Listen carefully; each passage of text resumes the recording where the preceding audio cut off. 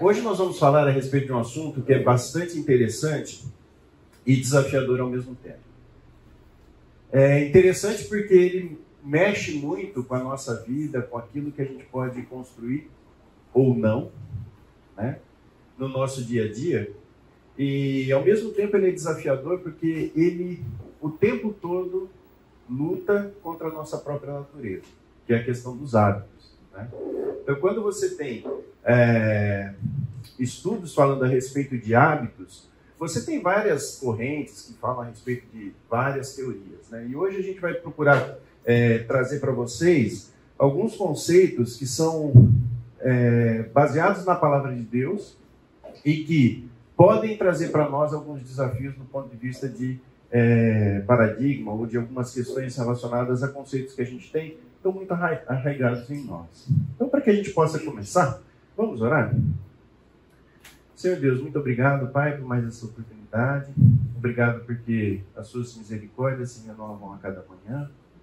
Que isso seja para nós, Pai, uma, um estímulo para adquirirmos novos hábitos, que a gente possa também, Senhor, corrigir as nossas condutas, de tal forma que possamos viver uma vida santa, uma vida que te agrade. Capacita-nos, Senhor, através do Espírito Santo, e que a tua palavra seja pregada de maneira fiel, para que a gente possa, de fato, estar mais próximo de ti. Abençoa-nos nessa manhã, em nome de Jesus. Amém.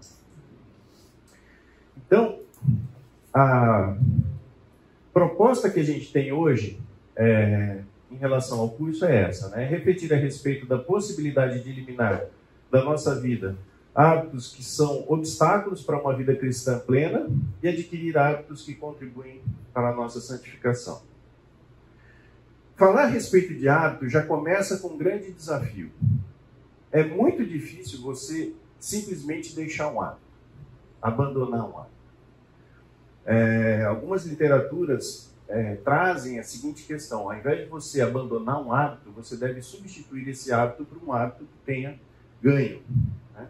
Então, sempre que a gente for falar a respeito de hábito, nós vamos estar falando a respeito disso. Né? Eu posso substituir hábitos para que eu comece a viver e desfrutar é, de, de algo que seja melhor para nós. Né? Eu não sei quantos de vocês já leram aquele livro, Cartas do Diabo ao Seu Aprendiz. Já leram, não? É um livro muito interessante sobre vários aspectos do C.S. Lewis. E ali você percebe o diabo o tempo todo passando instruções para o seu aprendiz de como afastar né, o, o paciente, que eles chamam, né, é, de bons hábitos. Se você olhar em detalhe o que está colocado lá na, nesse livro, você vai perceber que muito do que ele fala lá diz respeito a hábitos. Então, por exemplo, o hábito de ir à igreja, o hábito de estudar, o hábito de orar, são hábitos combatidos para que ele, o paciente não chegue à santificação. Então, o tempo todo nós vamos estar falando sobre isso, né? É, e o que a gente pode destacar já da palavra de Deus, que está ali em João é, 16, 33, é que ah, no mundo tereis aflições, mas tem de bom ânimo, eu venci o mundo. João 16, 33, né? Então, é, vamos pensar o seguinte, né? O quanto que a nossa vida, o nosso dia a dia, de fato, está refletindo a realidade espiritual. Porque se a gente começar a entender o que de fato está acontecendo, isso pode servir para nós como um estímulo na luta por adquirir bons hábitos. Né? Então, a primeira coisa é: nós estamos em uma batalha. E é impressionante como muitas vidas, muitas pessoas, parecem que vieram ao mundo de férias, né? Vivem uma boa vida, aproveitam de várias é, bênçãos que são dadas, mas perdem a perspectiva de que de fato nós estamos vivendo uma batalha. Segundo aspecto que é importante é, a gente considerar é que o velho homem está o tempo todo em luta com o novo homem. É mais ou menos aquela questão, né? Quem que está no controle da minha vida? Sou eu ou é Deus? E é interessante como isso é, participa do nosso dia a dia. algumas vezes a gente fala assim, puxa vida, né? Queria tanto que fosse diferente, queria fazer de uma forma melhor do que Deus. Quando Deus pede para nós obediência, quantas vezes a gente fala assim, mas Senhor, eu acho que tem um jeito melhor de fazer. Eu não vou precisar sofrer tanto, eu não vou poder precisar pagar o preço. Então, o tempo todo, a nossa realidade é essa. Que existe uma batalha entre o velho homem e o novo homem. Temos necessidades legítimas sendo satisfeitas a revelia de Deus. Ou seja, na origem de muitos pecados, se não de todos, existe uma necessidade que é legítima. Então, quando a gente lida, por exemplo, com o hábito da mentira, a gente está lidando com uma, uma questão que é a autopreservação, que é a segurança. E muitas vezes você lança a mão da mentira buscando proteger a si mesmo, que é, de certa maneira, a segurança uma necessidade legítima. A vida eterna começa quando aceitamos a Cristo. Isso também é um conceito é, bastante difundido aqui na igreja, mas que muitas pessoas não, não se apropriam disso. A vida eterna não começa quando a gente morre. A vida eterna começa quando nós aceitamos a Jesus como nosso Salvador. Ali começa a vida eterna. A obra de Cristo não está limitada a nos livrar do inferno. Tem pessoas que vivem a, a vida olhando só para essa obra de Cristo. Né? Ó, não vou mais para o inferno, beleza, agora eu vou ver minha vida do jeito que eu quero e a partir daí não vou, não preciso me preocupar com mais nada. E um outro ponto é que o que fazemos aqui tem reflexos eternos. Então são questões colocadas para que a gente possa pensar o seguinte: por que, que faz sentido eu adquirir bons hábitos? Por que, que eu preciso me preocupar com isso? Porque na aquisição de bons hábitos, eu vou estar trabalhando com todas essas realidades que são que é a realidade da vida cristã. Se você não vive essas realidades, é muito provável que você é, precise é, estar mais próximo de Deus. É muito provável que você é, esteja com alguns focos é, desajustados em relação à realidade. Né? Então vamos lá, né? O que, que, é, que, que é um hábito? Qual é a definição de hábito? Hábito é a repetição de comportamentos, intencionais ou não, que geram resultados na nossa vida. Então, todo hábito, ele gera um resultado. Se é um bom hábito, ele gera resultados bons. Se é um mau hábito, ele gera resultados ruins. E o hábito e o comportamento são ações que uma criança consegue entender do que se trata. Então vamos supor, se você chega para uma criança e fala assim, olha filho, você precisa ser mais simpático com as pessoas. Né? Não sei quantos de nós já falou isso para os nossos filhos, né? Provavelmente ela não vai saber do que você está falando. Por quê? Não é um comportamento. Agora, se você chegar para uma criança e falar para ela assim, olha, quando uma pessoa te cumprimentar, cumprimente de volta. Ela sabe do que você está falando. Ela pode até não te obedecer, né? Mas ela sabe do que você está falando. Por quê? Porque você está falando de comportamento. É algo que ela vê. Então, o hábito é a repetição de comportamentos. E comportamentos é aquilo que a gente vê. Tá? Então, para eu começar a desenvolver bons hábitos, eu tenho que pensar nos comportamentos que eu tenho. E o comportamento ele está alicerçado em duas, é, em dois conceitos. O primeiro, uma mente é, executiva, que é aquela que é a mente consciente, onde eu tomo decisões. E na medida em que eu vou repetindo comportamentos, eu passo a comandar esse lado da minha vida pela mente habitual, que é uma mente que liga o piloto automático. Dá um exemplo para vocês, né? Acho que muitos de nós aqui já passou pela experiência de aprender a dirigir, não é? Como é que é o início? É 100% na mente consciente, não é? Então alguém fala para você, aperta a embreagem, coloca a primeira, solta o freio de mão e o carro morre, não é isso? Passa mais um tempo, você vai praticando e aquilo vai ficando um pouco melhor, melhor assimilado, tal, e você vai pegando prática. E aí entra a questão do trânsito e tal. Até que chega num ponto que você já nem lembra que você sabe dirigir. Não é verdade? É tão automático, você entra no carro, liga, sai andando e está tudo certo. Né? Isso é a progressão de comportamentos aonde ele passa da mente executiva para a mente habitual. E isso é possível em qualquer área da nossa vida. Vamos pegar o hábito da oração. Concorda que a oração é um comportamento? Você consegue perceber quando a pessoa está orando? Sim ou não? É, você vê a pessoa orando. Ali é um comportamento, né? Tudo bem, ela pode estar orando de olho aberto e às vezes você não consegue, mas a oração é um comportamento. Aquilo se tornar parte tão integrante da sua vida que você ora sem pensar que você está orando, percebe? Aquilo faz parte tão intrínseca da sua vida, e a gente vê alguns exemplos na Bíblia, né? Daniel, por exemplo, quando ora diante do, da, da, da possibilidade de ir para a cova dos leões, ele ora, falei ao meu Senhor. Isso se torna parte integrante da vida dele. E esse tem que ser o nosso objetivo com relação aos comportamentos que, que nós temos em relação a essas questões da, da fé.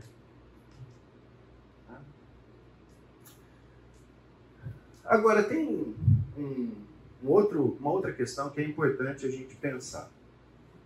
De alguma maneira, não sei exatamente como isso aconteceu, mas a gente começa a ver é, que a graça e a santificação pode ter um elemento que nos confunde.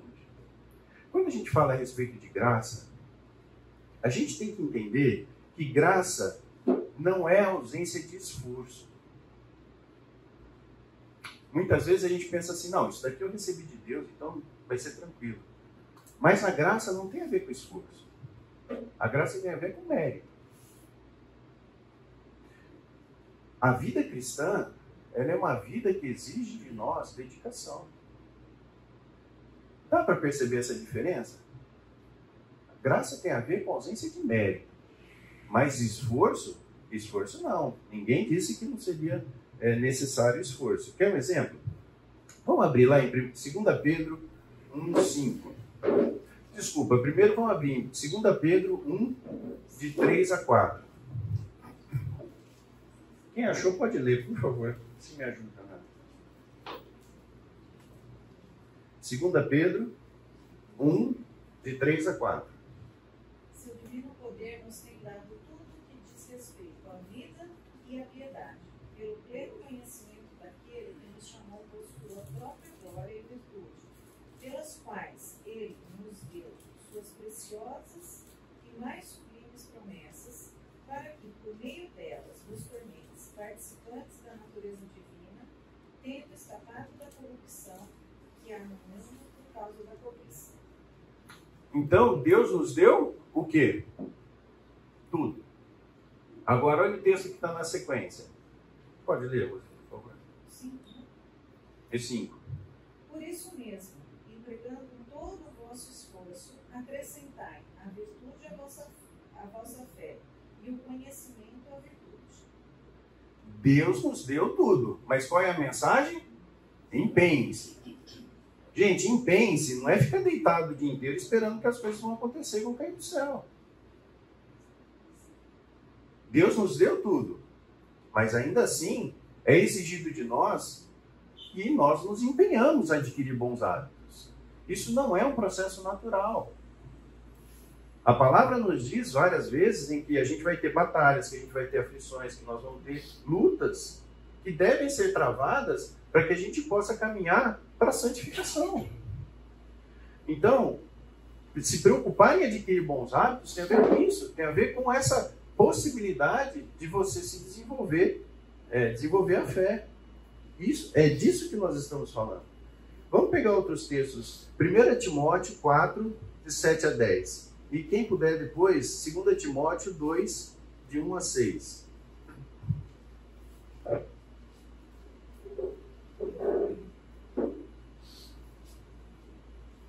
Quem achou, por favor, pode ler.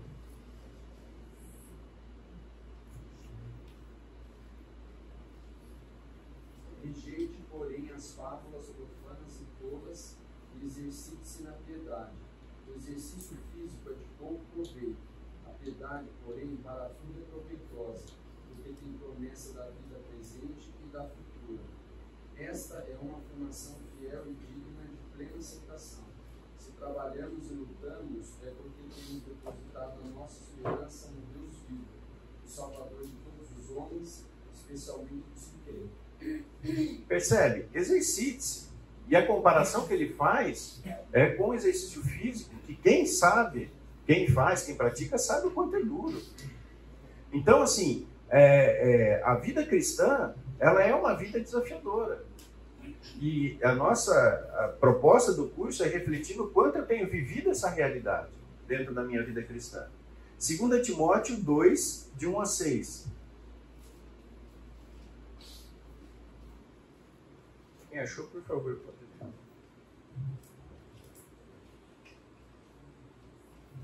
2 Timóteo 2, de 1 a 6. Portanto, você, meu filho, fortifique-se na graça que há em Cristo Jesus. E as palavras que me ouviu dizer na presença de muitas testemunhas. A homens fiéis que sejam também capazes de ensinar outros. Você pode comigo os meus sofrimentos. Um bom soldado de Jesus Cristo. Nenhum soldado se deixa envolver pelos negócios da vida civil, já que deseja agradar aquele que o reconheceu. Semelhantemente, nenhum atleta é coroado como vencedor se não competir de acordo com as regras. O lavrador que trabalha arduamente deve ser o primeiro para participar dos frutos da colheita. Percebe? Exercite-se, né? Aqui ele está falando fortifica-se. Né? Então, é, essa é a realidade que nós vivemos. Né? E, e, é interessante a gente pensar o seguinte, né? É, esses textos, concorda que ele combina com a questão do estudo das escrituras? Concorda que ele combina com a, a oração? Agora, por que, que usa termos tão é, pesados, de certa forma, para falar de algo que muitas vezes deveria ser para nós um prazer, né? Deveria ser algo que é, a gente faz. Eu me converti, então agora oração é uma coisa natural para mim. Ler a palavra de Deus é algo natural para mim. Eu não sei a realidade de vocês, para mim não é. Muitas vezes, para ler a Bíblia, é necessário esforço. Muitas vezes, é, e eu não sei se isso acontece com vocês, pelo menos acontece comigo. Você começa a ler a Bíblia, tua mente começa a querer fugir. Você começa a pensar em problemas. Então, assim, a minha experiência, eu acho que é a experiência de muitos aqui, quando você vai se exercitar em bons hábitos, principalmente os hábitos que te conduzem a uma vida cristã sadia, a luta contra o nosso corpo é algo que realmente nos é, impede de ter uma vida plena na vida cristã. Hábito de vir à igreja. Se você tiver que tomar decisão entre vir ou não vir na igreja todo domingo, muitos de nós não viriam. O hábito de vir à igreja tem que ser algo que já está na mente habitual. Você levanta no domingo sem muito, sabe assim, sem considerar muitas coisas, sem saber o que está passando na TV, né? E, e vem para cá. Então é, essa é a questão do, do bom hábito. E, e, eu acho que a gente tem vivido, né? Eu não sei quantos de vocês também têm essa mesma experiência. Nós estamos numa, vivendo uma época de uma geração que não está nem aí com esforço. Esforço é um negócio. Uma vez o Fernando usou uma, uma figura num encontro de homens que nós tivemos lá no Guarujá, e para mim ficou muito marcado. Ele falou assim: Você lembra do John Wayne? Acho que muita gente aqui nem sabe de quem é, né? Mas o John Wayne era um ator americano e basicamente era filme de, como diria meu avô, né, de farveste. E, e a, a, pegada do John Wayne era mais ou menos o seguinte: ele tomava uma flechada no peito, quebrava a flecha e seguia em frente, meu amigo. Não tinha essa de ficar choramingando porque tomou uma flechada. Né? E sabe, eu acho que hoje, muitas vezes, a gente tem perdido essa capacidade de, a despeito das situações, a despeito das dificuldades, seguir em frente. Eu acho que nós estamos vivendo uma época em que as pessoas estão muito acostumadas com a zona de conforto. Muito acostumadas com isso. E isso traz para nós uma certa paralisia. E como o texto fala de exercício, e eu tenho me aventurado na, no, hábito da corrida, eu tenho aprendido muita coisa com a corrida, que não tem a ver com exercício. Né? Mas uma das primeiras coisas que eu tenho aprendido é que a corrida exige disciplina. Às vezes a gente não corre porque está frio, mas também a gente não corre porque está calor. Então, se você for esperar o clima ideal para correr, talvez você vai correr duas, três vezes no ano. Porque sempre está calor ou está frio. É... Uma outra coisa também, né? Então, você tem que enfrentar condições que são contrárias à, à sua disposição de treinar. Outra coisa, né? O preparo antes do treino. Muitas vezes na vida cristã, é, sabe aquela expressão? Acho que é, acho que é comentarista esportiva que fala, né? Que treino é treino, jogo é jogo. Né? Para você poder jogar bem, você tem que ter treinado. E o antes do treino também conta. Dependendo do que você fez antes do treino, você não consegue treinar. Dependendo do tipo de comida que você comeu, dependendo do sono que você teve, você não consegue treinar. E isso acontece também na vida cristã. Dependendo do que você fez, se você ontem à noite foi dormir muito tarde, talvez você venha para a igreja e só a carcaça está aqui, né? O resto está tá fora. Não consegue se concentrar. Ah, outra questão também é que ela não é minha principal atividade, a corrida. Então, muitas coisas concorrem para que na hora de treinar eu não vá treinar. Né? O horário, uma série de coisas. Então, a primeira coisa, né? Correr exige disciplina. Eu acho que a vida cristã também está na mesma linha. Segundo aspecto é que correr exige persistência. É, você sente dor e imagina, né? Eu tô com 52. 52 não, acho que é 52. Chega uma hora que você começa a parar de contar, sabe? Então, assim, é dor. Em muitos momentos você sente dor muitos momentos a sua mente começa a fazer um negócio muito interessante, principalmente ali nos 3 quilômetros, começa assim, pô, já correu 3, tá bom, né? Por hoje tá jóia, pode parar de correr. E eu penso que na vida cristã também é assim. Ah, não, você já leu, já leu bastante, agora tá jóia, vai descansar, você está cansado, você teve um dia é, corrido e tal.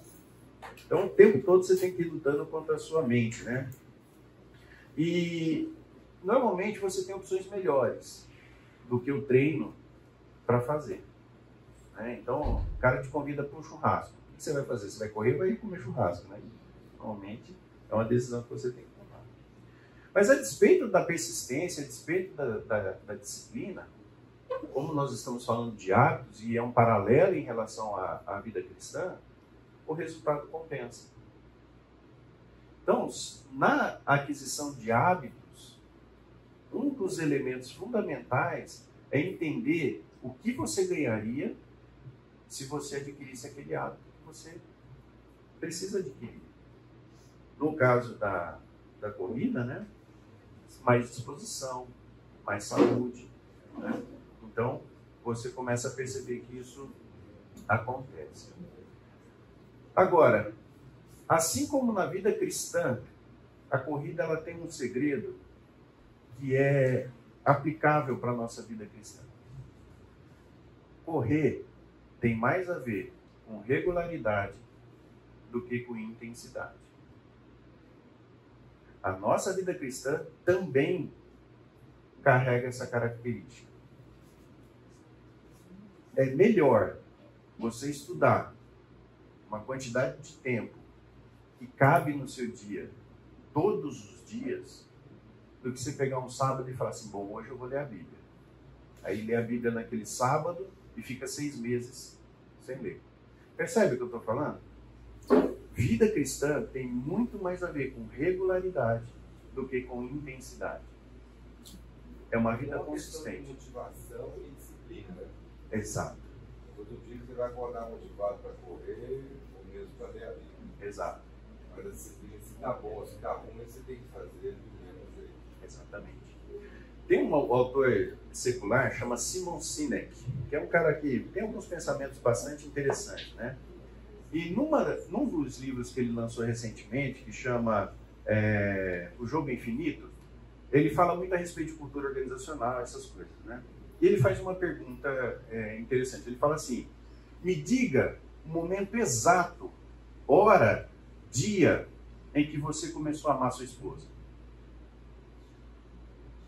A gente não sabe, né? Ele falou assim: o que acontece é que com a convivência você vai tendo pequenas atitudes em que o relacionamento e o sentimento vão se desenvolvendo. Então, de maneira semelhante, quando você vai, por exemplo, para uma academia, não tem um momento que você fala assim, não, a partir de agora estou em forma. Não é. Você vai o primeiro dia, o que, que você vê de resultado? Nada, muitas vezes só dor, né? Aí vai o segundo dia, vai o terceiro dia. Mas em algum momento, você vai entrar em forma. A mesma coisa diz respeito ao relacionamento com Deus. É provável que você, ao fazer a primeira leitura, a, a, a, as orações e tudo, você tenha dificuldade. Mas vai chegar um momento em que você vai perceber que aquele hábito incorporou na tua vida de tal forma que você passa a sentir falta. Eu trabalhava numa empresa em Montemor, então todo dia eu tinha 45 minutos para ir e 45 minutos para voltar de trânsito, né? É... E aí eu falei assim, Senhor, eu gostaria de aproveitar esse tempo para conversar contigo. Gente, não dá 10 minutos, não tem mais assunto para falar com Deus. E aquela coisa, sabe, a, a, mente o tempo todo, não, liga o rádio, deve estar tá passando uma notícia bacana. Só que é um período para eu conversar com meu pai.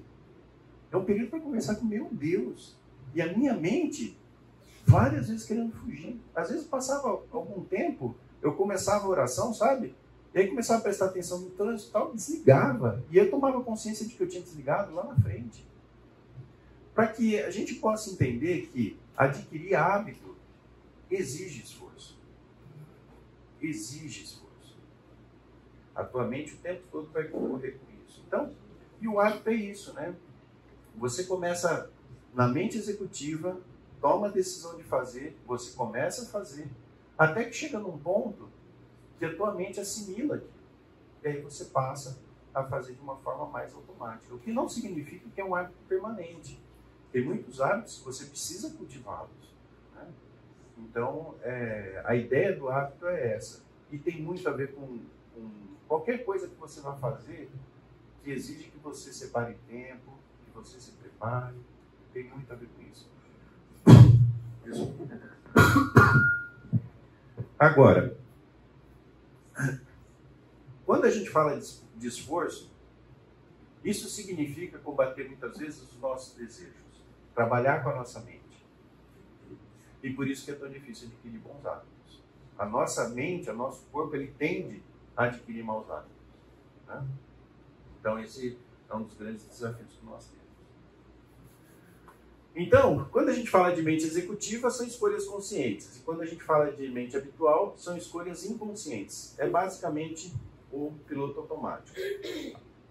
Quando a gente fala, né, que a gente viu é, que ah, muitas vezes isso nasce de uma necessidade legítima, né? Bons e maus hábitos nascem de uma necessidade legítima. Mas os maus hábitos, você está querendo satisfazer a revelia de Deus, a gente precisa entender que isso tem que vir de algo mais profundo do que uma boa intenção. Nós tivemos agora a passagem de ano. Né? Muitos de nós fazem uma série de propósitos no início do ano, né? para que aquele ano você seja diferente em algum aspecto. Isso tem a ver com hábito. Tem a ver com a possibilidade de você adquirir algo que você considera relevante por alguma razão e que você ainda não faz. Então, é, a boa intenção, ela está distante da aquisição do hábito. Ela começa, na verdade, na sua mente executiva, em que você vai para buscar um determinado hábito, um determinado conhecimento, mas ela pode se perder no meio do caminho. E isso daí a gente consegue perceber ao longo dos anos. Né? Muitos de nós já se colocaram propósitos e que acabaram não realizando. Né? Então, todo comportamento é fruto de uma resposta a um estímulo que está na mente executiva. A resposta é determinada pelos nossos valores, conjunto de crenças e necessidades legítimas. Vamos abrir em Provérbios 4, 23?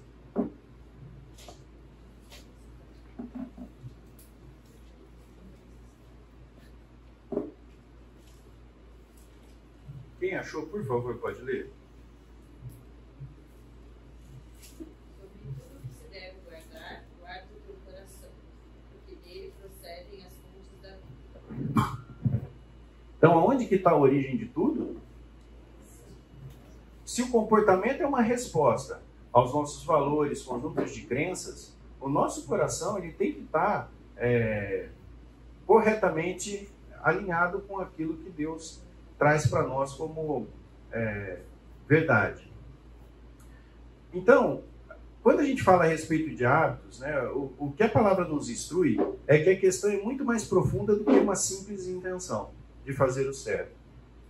Estamos em uma época muito propícia a fazer votos de mudança ou é, de conquistas, porque passamos anos a fio brigando para desenvolver hábitos que deveriam nos beneficiar e, na verdade, nunca colocamos em prática. E isso acontece também na vida cristã. Né? Muitas vezes sabemos que de, o que deve ser feito, mas simplesmente não fazemos. Não sei se vocês já viram quantos gurus estão falando a respeito de procrastinação. Já repararam isso? Como isso aumentou? Porque se percebeu que isso é um problema comum a muitas pessoas. Né? O fato de você não fazer aquilo que deve ser feito. Agora, é, alguns exercícios que são colocados lá são exercícios fincados somente naquilo que eu tenho como recurso. E a Bíblia não, nos traz a possibilidade de desfrutarmos de algo mais profundo, que tem a ver com a relação com Deus e com o Espírito Santo. Vocês já assistiram esse filme aqui? Primeiro Mentiroso? É um filme que não vale muito a pena, tá? Mas serve como exemplo. A história é mais ou menos o seguinte, né? Existe lá um, a, a vida, ela era baseada 100% na verdade, né? E, e inclusive coisas assim, né? Ele vai sair com uma moça, aí ele fala assim, você quer sair comigo? Não. Por quê? Porque você é feio. Sabe assim? É bem... E aí eu não sei porquê, num determinado momento da história, ele descobre que é possível mentir. Ele começa a mentir, mas mentia assim descaradamente. Só ele mentia. Então é, é engraçado assim o contexto, né? Mas ah, o que, que acontece? A pior coisa que pode acontecer para nós é quando você faz algo errado e dá certo. Que foi o caso aqui do filme. Porque aquilo começa a trazer na nossa mente a possibilidade de uma vida alternativa. Então, por exemplo, se você conta uma mentira e você se sai bem, a tua mente começa a falar assim, pô, mentira é uma boa alternativa. Não é só falar a verdade. Né? É... Eu vivi uma experiência com a Thaís muito preciosa, né? Com pai, pai de filha é, é bacana. A Thaís, ela tinha uma, uma questão que era assim, ela colocava uma roupa e ela vinha para mostrar para mim, né? Aí uma vez ela veio, ela comprou um. Nós compramos um sapatinho para ela, ela pôs o sapatinho, né? E veio assim e falou assim: E aí, papai? Né? Falei: Nossa, filha, show de bola. Né? E aí ficou aquilo lá. Ela foi com o sapatinho feliz e tal. E aí, toda vez ela punha alguma coisa, né? Uma roupa tal, ela chegava e Papai, tô de bola? e, e aí teve um dia que eu gostei da roupa. Ela chegou para mim, papai, tô de bola? ah, filha, eu acho que você podia pôr outra roupa. Gente, vocês vissem essa menina chorar. E a gente às vezes não tem muita habilidade, né? Faz a primeira viagem. Daí eu sentei com ela, falei assim, ó oh, filha, a questão é a seguinte. Eu sempre vou falar para você a verdade. Vou procurar sempre falar a verdade para você. E às vezes a verdade não é aquela que você quer ouvir. Né? Então, a, o grande desafio do hábito é que quando a gente, na nossa mente executiva, busca uma alternativa àquilo que a palavra de Deus propõe e dá certo do ponto de vista humano, a tendência é que a gente comece a repetir aquele comportamento. Quando você, por alguma razão, chegou atrasado, ah, mas eu descobri se eu entrar por trás ninguém vê que eu estou chegando atrasado, né? Alguma coisa nesse sentido, aquilo passa a ser uma opção para você. Então, quando a Bíblia fala sobre tudo que se deve guardar, guarda o teu coração, é porque os valores eles precisam estar muito claros na nossa mente daquilo que é certo e daquilo que é errado. Porque na hora de eu tomar uma decisão, esses princípios têm que saltar aos meus olhos. Falar, não, não vou fazer, porque isso está errado. A despeito das consequências que poderão ou não existir. Então, maus hábitos nascem em função da nossa carnalidade. Na origem dos hábitos há uma necessidade legítima sendo atendida. Vamos abrir, por favor, em Efésios 4, de 22 a 25.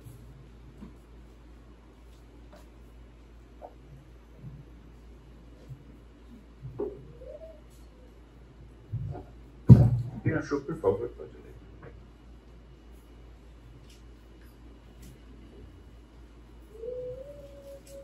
Quanto à antiga maneira de viver, vocês foram ensinados a despir-se do velho homem, que se corrompe por desejos enganosos. Por favor. A Até serem renovados no modo de pensar e a revestir-se do novo homem, criado para ser semelhante a Deus, em justiça e santidade provenientes da verdade. Percebe? Então, na medida em que a gente se converte, a gente precisa se despir do velho homem e se revestir do novo homem. E isso não é um processo natural, senão não estaria no imperativo. Romanos 6, de 5 a 1.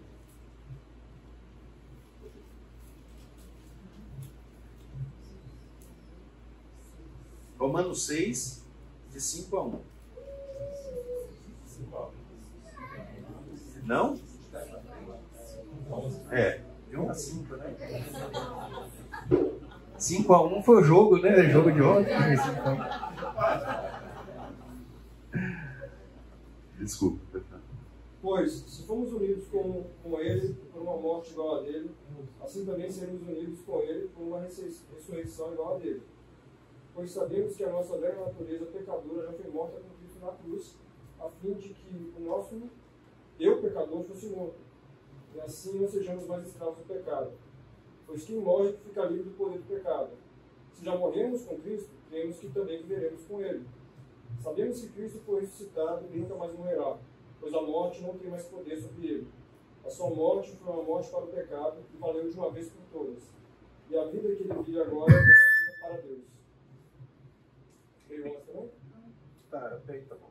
Então veja só, dentro de nós existe a inclinação para o pecado, que nos faz acreditar que temos o direito de estar no controle das nossas vidas. Essa é a principal razão pela qual eu procuro alternativas em relação àquilo que Deus fala.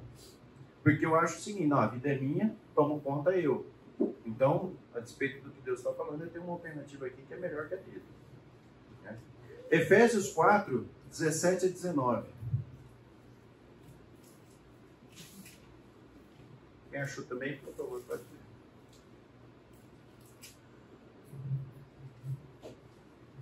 Efésios 4, de 17 a 19. Assim eu lhes digo, e no Senhor insisto, que não vivam mais como gentios, que vivem na inutilidade dos seus pensamentos. Eles estão obscurecidos no entendimento separados da vida de Deus por causa da ignorância que estão, devido ao endure- endurecimento do seu coração. Tendo perdido toda a sensibilidade, eles se entregaram à depravação, cometendo com avidez toda espécie de impureza. Ou seja, a mente deles foi de tal forma contaminada que a mente habitual pende para os hábitos ruins e eles nem se percebem disso. Então, a sensibilidade nossa em relação ao pecado, ela pode ser extremamente enfraquecida na medida em que eu tenho maus hábitos na nossa mente habitual. E por último, só para a gente poder sair para o intervalo, Tiago 1, de 13 a 16.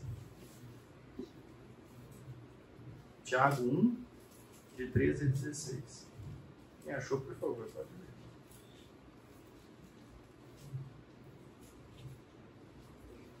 Quando alguém for tentado, não diga. Essa tentação vem de Deus, pois Deus não, tem, não pode ser tentado pelo mal, e Ele mesmo não tenta ninguém. As pessoas são tentadas quando são atraídas e enganadas pelos seus próprios maus desejos. Então, esses desejos fazem com que o pecado nasça, e o pecado, quando já está maduro, produz a morte. Não se engane, meus queridos irmãos. Olha só, é ou não é que a nossa mente o tempo todo procura culpado? Aí eu pequei aqui, mas também minha esposa me tirou do sério. Né? E muitas vezes a gente responsabiliza inclusive o próprio Deus. Ah, assim, eu, eu roubei, mas porque Deus me tirou o emprego, né? Sei lá, coisas assim. Então, esses são quatro aspectos da nossa vida que levam a nossa mente executiva a buscar alternativas em relação àquilo que Deus fala na sua palavra. Na origem dos hábitos há uma necessidade legítima sendo atendida, só que de uma forma errada, a revelia de Deus.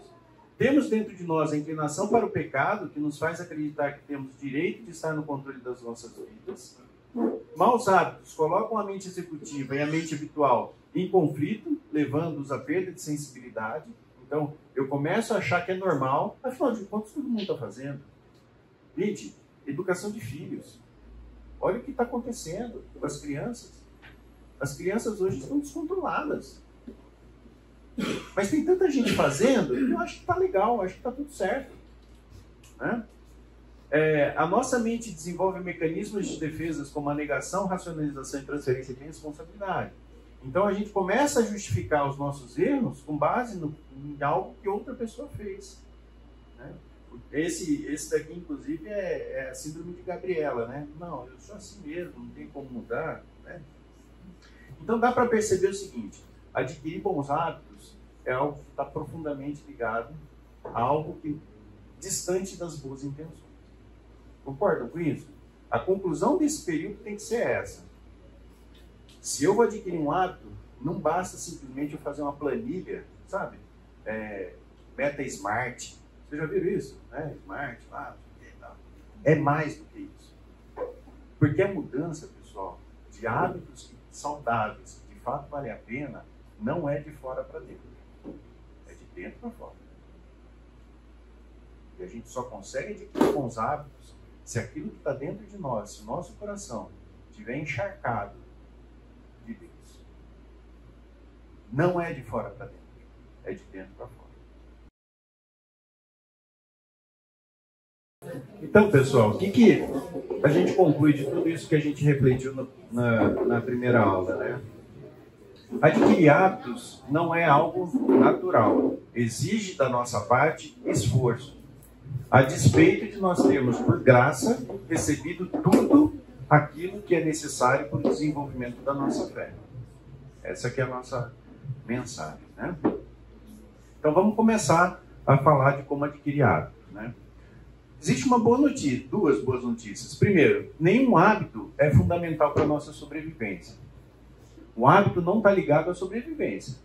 Está ligado a questões de como você lida com a sua própria vida, mas não de sobrevivência. Sobrevivência é respiração, alimentação, essas coisas.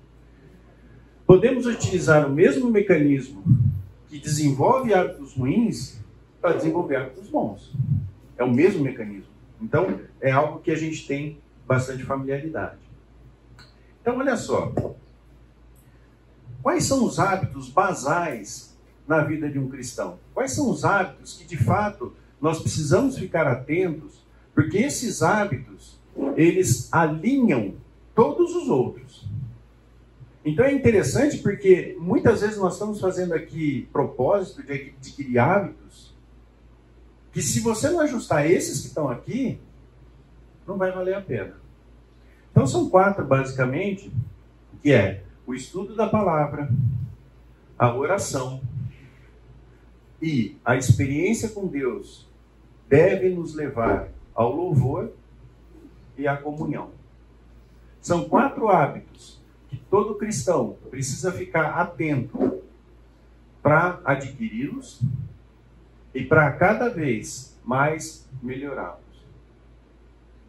Qualquer outro hábito que você esteja pensando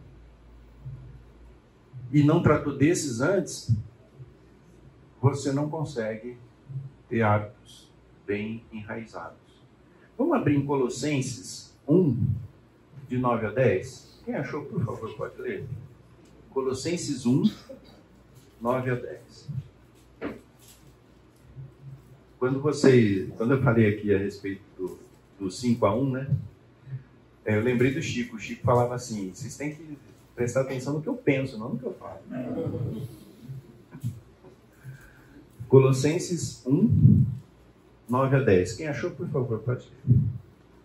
Por esta razão também nós, desde o dia que o ouvimos, não cessamos de orar por vós e pedir que transbordeis de pleno conhecimento da sua vontade, em toda a sabedoria e entendimento espiritual, a fim de vivermos de modo digno do Senhor, para o seu inteiro agrado, frutificando em toda boa obra e crescendo no pleno conhecimento de Deus. Percebe? Para mim, um dos verbos que chama atenção nesse texto é o transbordeis. Sabe por quê? Qual é a ideia que você tem do transbordar? Não parece aquele balde que você começa a colocar água e ele começa né, a jorrar? Olha só o nível de conhecimento que o texto nos instrui a ter. Que transbordeis de todo conhecimento. Gente, transbordar é a ideia de abundância. E sabe qual é a imagem que para mim fica muito clara nessa, nessa passagem? É como se nós tivéssemos um balde no nosso cérebro e você começa a, a colocar tanta água dentro dele que ele começa a transbordar e isso vai para o seu corpo todo. Então, quando a gente fala de comportamento, quando a gente fala de hábito, é como se aquilo que está dentro da nossa mente de tal forma fosse abundante que meus atos, as minhas atitudes, refletem aquilo que está dentro do meu coração. Outro texto que fala disso, Tiago 1, 25.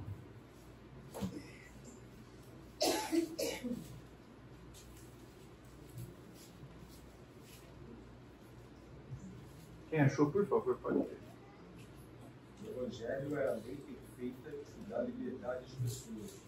Se alguém examina bem essa lei e não a esquece, mas a põe em prática, Deus vai abençoar tudo que essa pessoa fizer. Atentamente.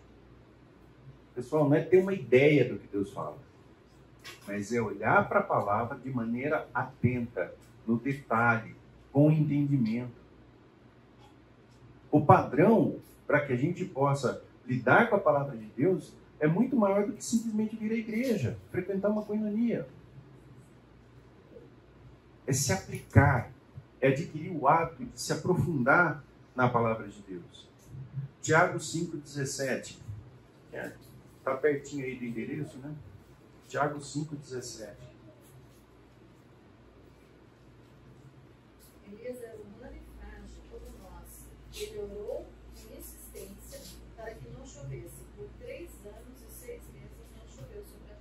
Elias era o quê? Como? Nossa. Quando a gente olha para Elias, pode nos passar a percepção de que você fala assim, não, mas ele é Elias, eu sou eu. E a palavra deixa clara que Elias era homem como nós. Se ele era homem como nós e teve as oportunidades e experiências que teve com Deus, o que nos impede de vivermos experiências fantásticas com Deus? Transbordando de todo conhecimento. Atento à palavra. Isso, pessoal, produz louvor. Então, quando a gente fala aqui a respeito de estudo da palavra e a oração, traz comunhão com Deus. Isso redunda em louvor, independente das circunstâncias. E esse louvor deve nos levar a uma comunhão com os nossos irmãos. Percebe? Os hábitos saudáveis, eles estão interligados. E a origem de tudo está no conhecimento da palavra. Por isso que o entendimento é algo que deve ser buscado, não para que a gente tenha uma noção, do que Deus fala. Mas que a gente possa viver experiências como Jó relata no seu, quando é relatado na história de Jó, de que antes meus, meus olhos te viam, agora, não, como é que é? Antes eu te conhecia só de ouvir falar, agora meus olhos te veem. Esse é o padrão que a gente deve perseguir. E isso não é com hábitos é, rasos do estudo da palavra e nem com hábitos rasos na oração. Isso é, é conseguido através de dedicação, através de empenho, esforço. Lembrando que graça é ausência de mérito, não de esforço, mas de mérito. Então vamos lá. Três passos iniciais para cultivar bons hábitos. Vamos abrir em Colossenses 3. Colossenses 3, primeiro versículo.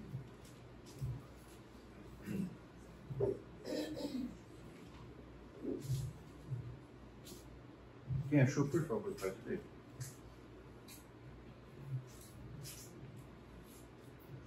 Portanto, já que vocês ressuscitaram com Cristo, dediquem-se às coisas que são do alto, onde Cristo está assentado à direita de Deus. Só Isso. Então, ele está falando dediquem-se, né? Na tua versão está dediquem-se, né? Na versão que eu, que eu peguei está buscai. Tá? Então, olha só como que é interessante. Já que Cristo morreu, fez a obra, agora o que, que você tem que fazer? Dedique-se ou buscai. Na sequência, nós vamos ver aqui, ó, que é Colossenses 3:2. Você pode continuar a ler, por favor, versículo 2? Pensar nas coisas lá do alto, não nas, não nas quais são aqui da terra. Ou seja, eu, eu aceito a Cristo, eu começo a buscar e eu começo a pensar. Esse é o desenvolver, é, desenvolver a mente de Cristo, cuidando de convicções e das crenças. E aí o último trecho, que está no. É, aí pode ir até o, até o 14. Fazei, pois, morrer a vossa natureza terrena. Prostituição, impureza, paixão lasciva, desejo maligno e a avareza, que é a idolatria. Por estas coisas é que vem a ira de Deus, sobre os filhos da desobediência. Ora, nessas mesmas coisas andaste vós também, no outro tempo, quando viveis nela. Agora, porém, despojai-vos, igualmente de tudo isso. Ira, indignação, maldade, maledicência, linguagem obscena do vosso falar.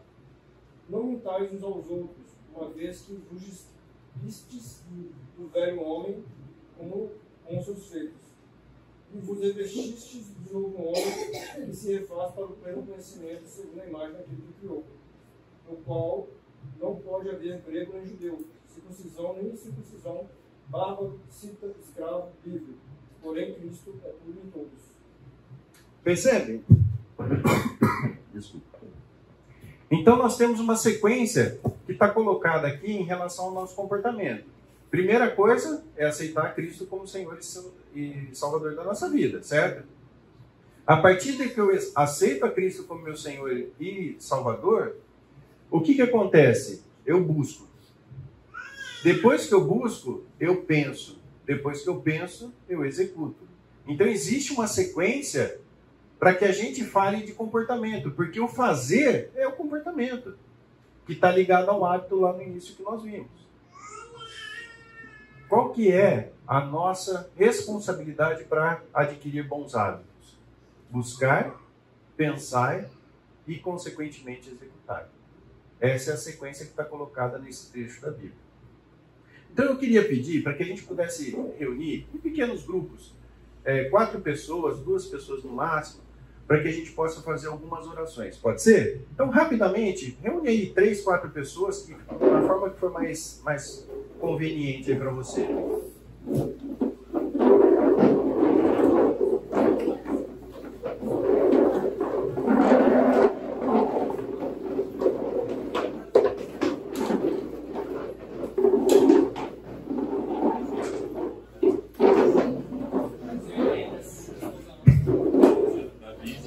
Ok? Então vamos lá, pessoal. A primeira oração que é, eu gostaria que vocês fizessem em grupo é: Não darei nenhum passo se a presença de Deus não for comigo e se isso não contribuir para a sua glória. Orar por isso. Praticar a oração, pedindo para que você seja capaz de não dar nenhum passo se a presença de Deus não for contigo e se isso não contribuir para a glória dele. Vamos orar? Rapidamente, uma oração aí do grupo, para a gente poder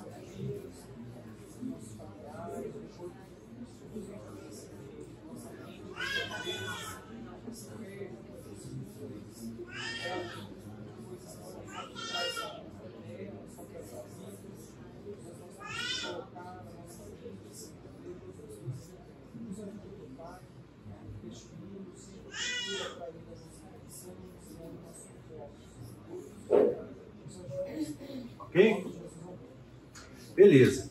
Olha esse texto aqui que está em segunda, é, 1 Coríntios 10, 31. Assim como também eu procuro em tudo ser agradável a todos, não buscando o meu próprio interesse, mas o de muitos, para que sejam salvos. Então a segunda oração é: procurarei agradar a Deus em tudo o que eu fizer. Vamos orar?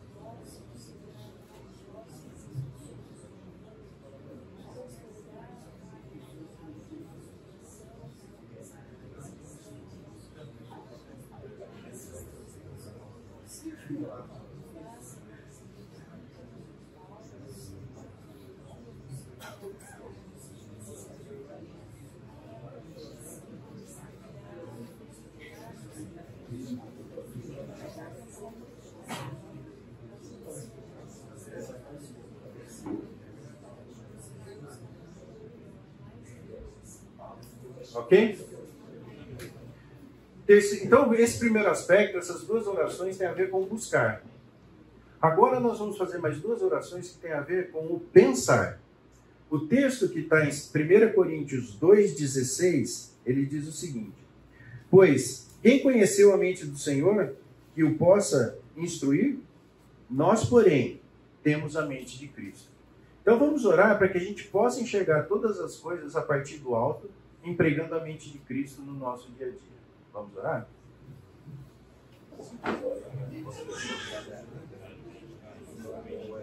Ok?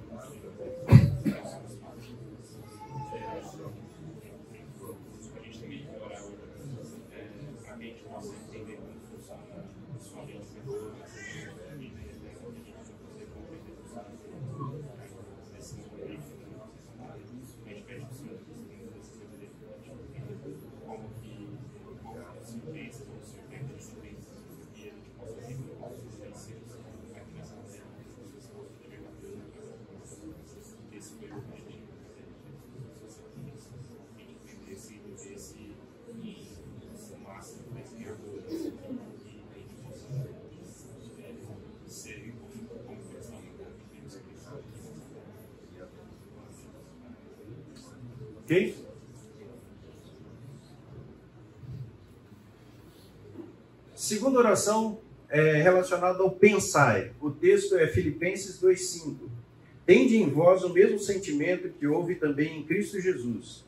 Pois ele, subsistindo na forma de Deus, não julgou por usurpação o ser igual a Deus.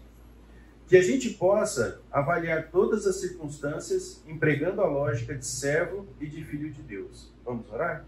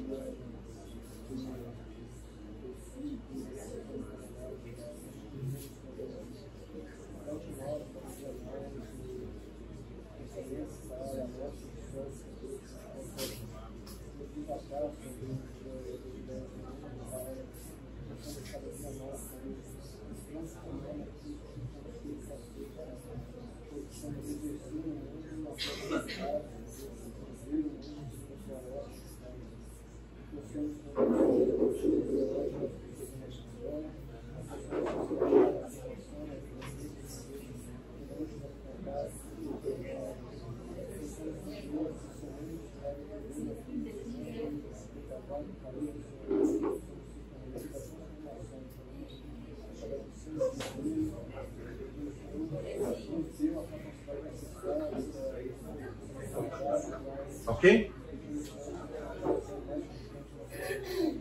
Então nós já oramos por buscar, por pensar. Agora nós vamos orar pelo executar.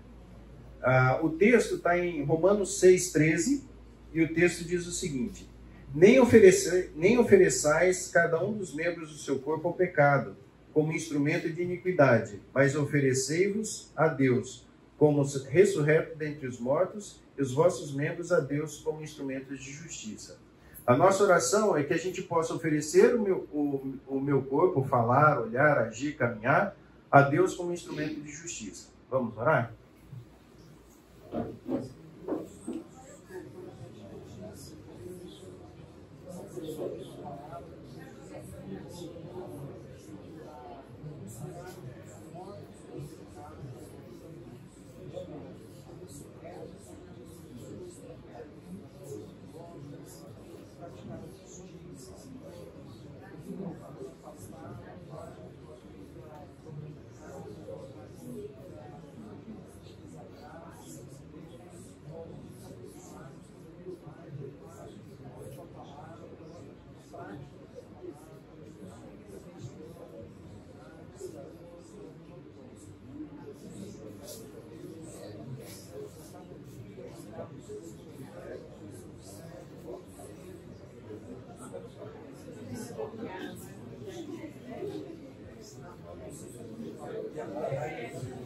Ok?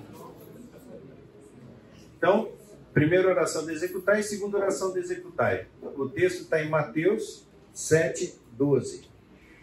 O texto diz assim: Tudo quanto, pois, quereis que os homens façam, vos façam, assim fazei-o a vós mesmos. É, também a eles, porque está esta é a lei dos profetas. Então, que a gente possa orar para que a gente procure fazer ao próximo tudo o que eu gostaria que fosse feito comigo. Vamos orar?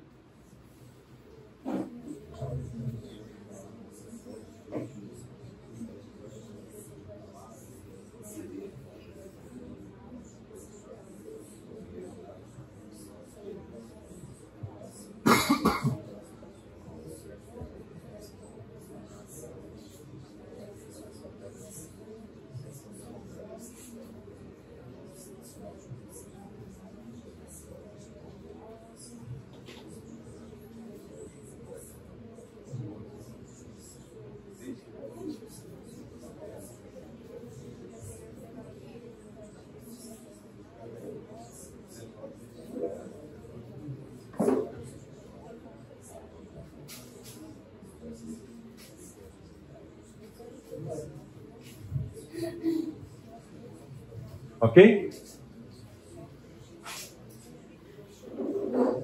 Então vamos lá. Quais são as três fases que a gente tem para criar um hábito? Primeira, buscar. A segunda, pensar. A terceira, executar. Olha que interessante esse exemplo aqui. Podem voltar as cadeiras para o lugar. A gente está falando aqui de pleno conhecimento, certo? Vamos traduzir isso em termos de tempo? Vamos pensar assim, ó. Uma semana tem 10.080 minutos.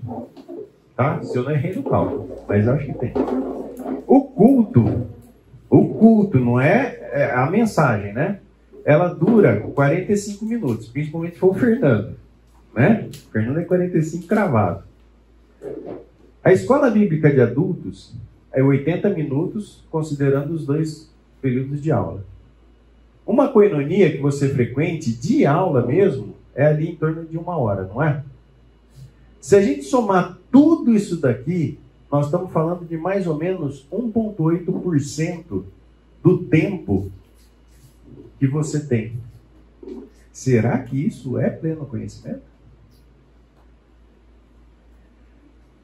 De coração, eu espero que nem eu, nem nenhum de vocês passe pelo que está descrito em 1 Coríntios 3, de 1 a 2. Paulo diz assim aos Coríntios: Eu, porém, irmãos, não vos pude falar como a espirituais, e sim como a carnais, como crianças em Cristo. Leite vos dei a beber, não vos dei alimento sólido, porque ainda não podíeis suportá-lo. Nem ainda agora podeis, porque ainda sois carnais.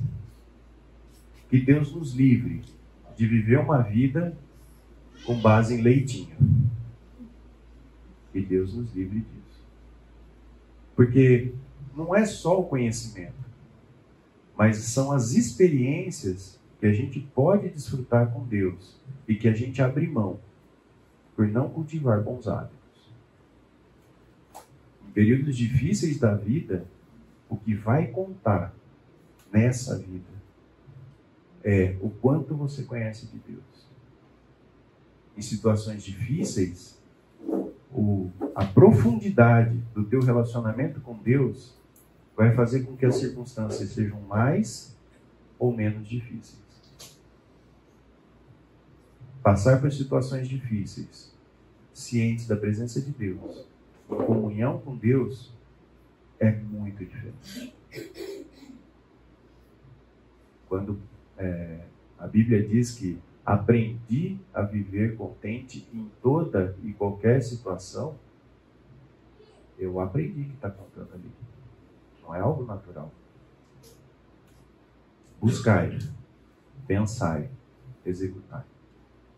Isso faz com que a gente adquira bons hábitos.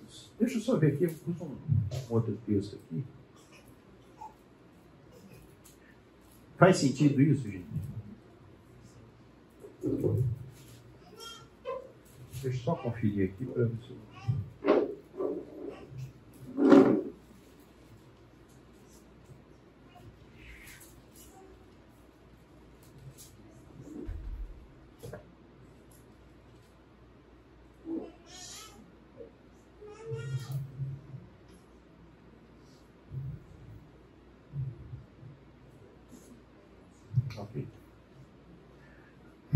Agora,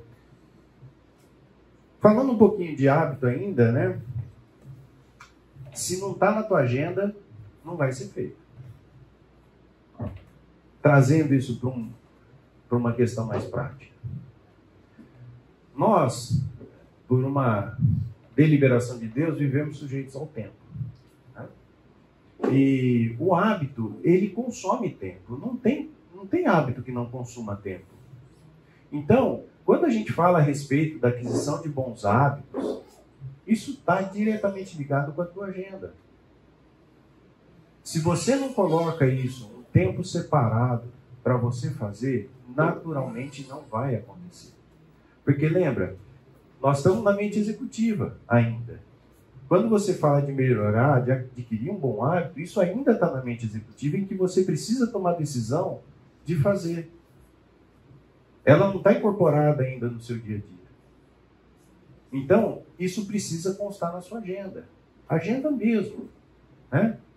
Tem pessoas que se é, que lidam bem com, é, com a aquisição de rotinas sem o papel escrito. Se não é o teu caso, na tua agenda tem que estar marcado lá, né? Hoje você tem tanto recurso para isso, não é? É celular que toca. Né? Então, aí eu vou cultivar o hábito do estudo bíblico. Isso tem que estar separado na sua agenda, porque senão não vai acontecer. E vou dizer mais: às vezes, mesmo estando na sua agenda, corre o risco de você não fazer. Aí você imagina se você nem, nem fizer isso, sabe?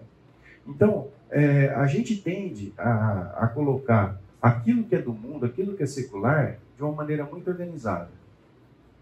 E o que é espiritual, que de fato tem valor e que inclusive vai refletir em todas as nossas atitudes do, do mundo, a gente fala assim: ah, a hora que der, eu vou fazer. Não. Precisa de disciplina. Lembra que eu citei o exemplo da corrida? Corrida é muita disciplina. Né? A gente até brinca lá em casa. Né? Você chega em casa, se você sentou no sofá, você não vai treinar. Porque você está cansado. Você teve um dia cheio, né? Não é que estava de férias e agora vou correr. Não, você está ali no dia a dia. E para quem está começando, como é o meu, meu caso, tá, eu estou re, re, reiniciando, né? É muito difícil. É uma preguiça danada. E não é diferente com as coisas espirituais. O nosso corpo, eu acho que isso ilustra muito essa questão da guerra entre o velho homem e o novo homem, é muito disso, sabe? De você se propor a ler a Bíblia e aí surge um problema, alguém te chama, sabe? Tem muito a ver com isso. E a nossa mente o tempo todo procura justificar e apresentar para você alternativas melhores do que isso da Bíblia. Então, tem que vir para a agenda para que a gente pode, possa né, caminhar para uma, uma vida que, que, já que faz sentido. Em 2 Timóteo 2,4, quem, quem puder, por favor, abrir lá. 2 Timóteo 2,4. Nenhum soldado se deixa envolver pelos negócios da vida civil, já que deseja agradar aquele que o alistou. O que, que, o que, que esse texto diz para nós? Quem nos alistou? Deus, certo? Nós temos que ter o foco voltado para agradar quem nos arregimentou. Porque as distrações são imensas. E nós temos que manter a nossa convicção firmada no eterno. Né? Deuteronômio 1,8. Não, desculpa, Daniel 1,8. Daniel 1,8. Resolveu Daniel firmemente não contaminar-se com as finas iguarias do rei, nem com, nem com o vinho que ele bebia. Então pediu ao chefe dos eunucos que lhe permitisse não contaminar-se. Buscai.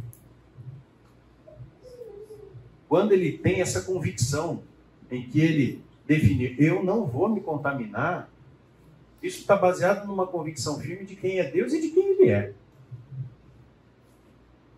Na essência, é, da questão, a gente poderia arrumar inúmeras justificativas para que ele pudesse comer da mesa do rei. Mas o que ele fez? Por convicção. Falou: não vou fazer. Né? Correndo isso, porque aqui talvez a gente não tenha uma dimensão exata do que significava isso, mas ele corria risco de vida. Como que ele vai desobedecer? Risco de morte, né? É, como que ele vai desobedecer uma determinação do rei? Então não era simplesmente falar assim, que nem algumas crianças falam, ah, não vou comer. Não, não é isso. É muito além disso. Lembre-se que na, na antiguidade a refeição era sinônimo de comunhão. Não é? Então, é, convicção. Daniel 6, 10. Quem puder abrir, por favor. Daniel 6, 10.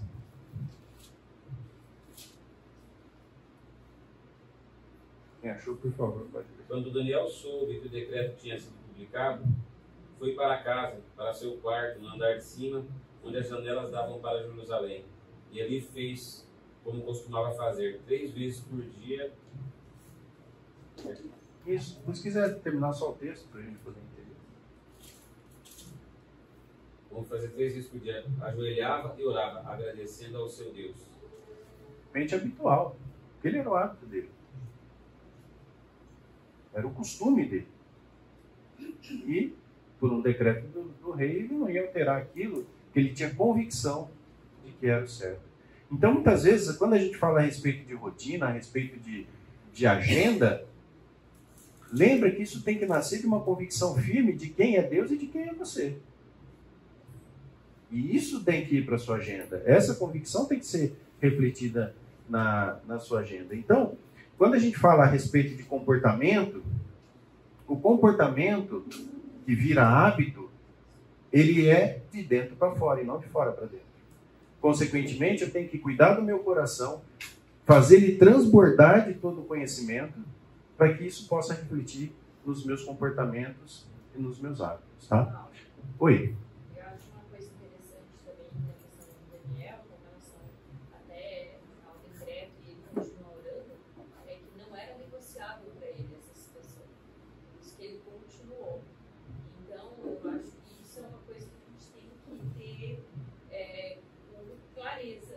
Que as coisas de Deus não podem ser negociáveis para a gente. Isso tem que ser claro, até para que isso se torne um hábito e você tenha to- toda a, o abrir mão de um monte de desejos que você tem para que aquilo não exista. Verdade. A gente tem que ter as coisas de Deus inegociáveis na nossa vida. Se a gente começa a ter essa postura, a gente vai ter também mais é, vamos dizer assim, força para lutar com, a- com as distrações do dia a dia que a gente tem para não ter um hábito com aquilo. Com E certeza. era na vida de Daniel, isso era muito claro para mim. A fé dele era inegociável. E outra, né? é, uma outra dimensão que eu acho que tem 100% a ver com o que você falou. A gente está vendo aqui um exemplo de Daniel que estava lutando contra alguma coisa que era externa a ele. E as nossas lutas que a gente tem com a gente mesmo? Né? Nesse aspecto né? de, negoci... de, de saber que é inegociável. Quando a gente está lutando contra nós mesmos, contra a nossa natureza pecaminosa, né? que te dá sono na hora da oração, que te dá preguiça na hora de ler a palavra, né?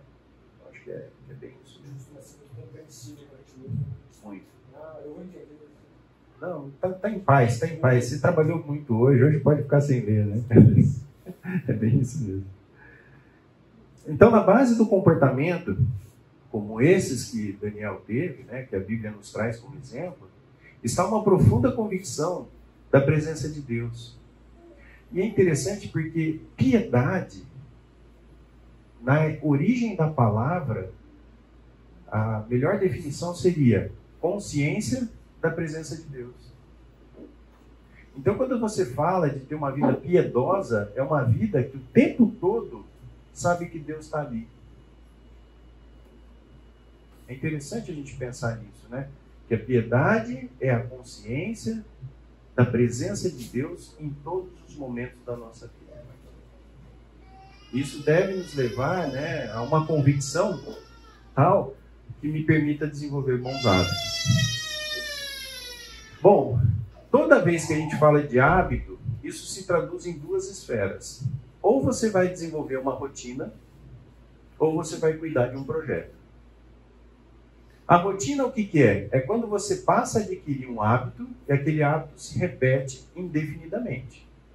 E o projeto é quando você se dispõe a fazer algo que tem começo, meio e fim. Então, por exemplo, você pode ter um projeto de ler a Bíblia num ano. Vai ter começo, meio e fim.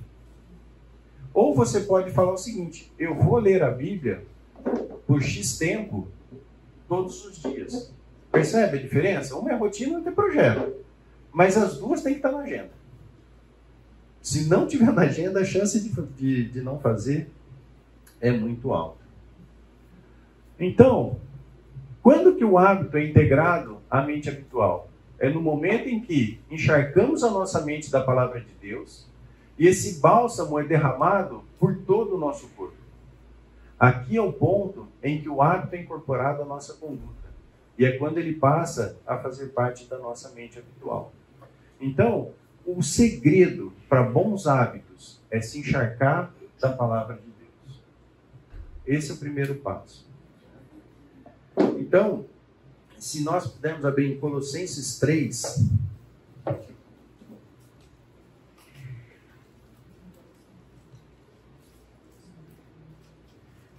Colossenses 3, de 1 a 11. Portanto, se fosses ressuscitados juntamente com Cristo, buscai as coisas lá do alto, onde Cristo vive assentado à direita de Deus. Pensai nas coisas lá do alto, não nas que são aqui da terra, porque morrestes, e a vossa vida está oculta juntamente com Cristo em Deus. Quando Cristo, que é a vossa vida, se manifestar, então vós também sereis manifestados com ele em glória. Até? Até o 11, por favor. Fazei, pois, morrer a vossa natureza terrena, prostituição, impureza, paixão lasciva, desejo maligno e avareza, que é a idolatria. Dessas coisas é que, se, é que vem a ira de Deus sobre os filhos da desobediência. Ora, nessas mesmas coisas andaste vós também, no outro tempo, quando vivíeis nelas. Agora, porém, despojai-vos igualmente de tudo isso. Ira, indignação, maldade, maledicência, linguagem obscena, do vosso falar. Não mintais uns aos outros, uma vez que vos despistes do velho homem com os seus feitos, e vos revestistes do novo homem que se refaz para o pleno conhecimento segundo a imagem daquele que o criou, no qual não pode haver grego nem judeu, circuncisão nem incircuncisão, bárbaro, cita, escravo, livre, porém Cristo é tudo, em todo. Colossenses 3, de 1 a 11. Guardem esse texto e se vocês é, puderem meditar nele durante a semana, eu acho que tem muito ganho. Basicamente, ele vai falar da salvação, busquem, pensem e executem.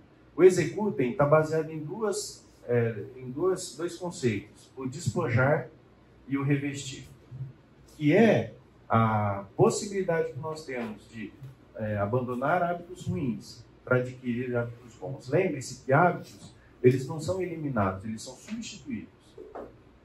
Então, você pode trocar um hábito ruim por um hábito bom. O mecanismo é exatamente o mesmo. Mas começa na decisão e na convicção daquilo que é importante para o desenvolvimento da tua vida com Deus. Lembre-se também do seguinte: a vida eterna e o teu preparo para desfrutar da eternidade é do momento em que você aceitou a Cristo como seu Senhor e Salvador, até o dia em que ele te chamar ou ele voltar. Vocês já pararam para pensar que esse curto espaço de tempo, comparado com a eternidade, é o período que Deus nos concede graciosamente para desenvolver a nossa fé. Depois dessa janela de desenvolvimento, não haverá mais. Isso deve trazer para nós um sentido de urgência, porque o tempo é curto. Quando que a gente deve começar a buscar a santificação? Hoje. O tempo é curto. Vamos orar? Senhor Deus, muito obrigado, Pai, pela tua palavra, obrigado pelas tuas instruções e porque o Senhor nos alcança de uma maneira tão misericordiosa, Pai. Senhor, carecemos da tua ajuda no desenvolvimento de bons hábitos, que a tua palavra, Pai, possa encharcar o nosso coração e que isso produza, Pai, os frutos que devem produzir. Ajuda cada um aqui no seu, na sua caminhada, desenvolvimento da sua fé, que possamos desenvolver bons hábitos e que isso, Pai, reflita na nossa comunhão contigo. Agradecemos mais uma vez por essa palavra, por essa manhã e pedimos que o Senhor esteja conosco. Em nome de Jesus. Amém.